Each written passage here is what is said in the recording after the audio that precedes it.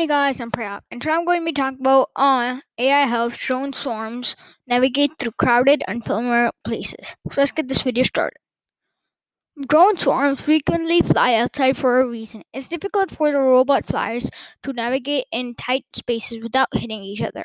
Caltech researchers may have a way for those drones to fly indoors. However, they developed a machine learning algorithm, globe to local safe, and to autonomy synthesis, which stands for GLAS, that lets swarms navigate crowded, unmapped environments. The system works by giving each drone a degree uh, of independence and lets it adapt to ch- to the changing environment instead of relying on an uh, existing map on the routes of every other drone in the swarm.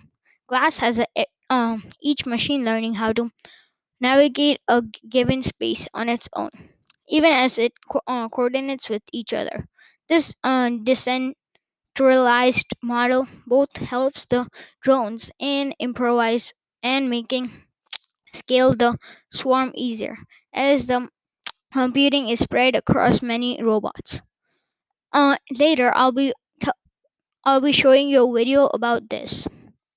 An additional tracking controller, Neural Swarm, helps the drones uh, compensate for aerodynamic interactions such as the uh, downwash from a robot flying overhead. It's already more reliable than a commercial controller that doesn't uh, account for aerodynamics.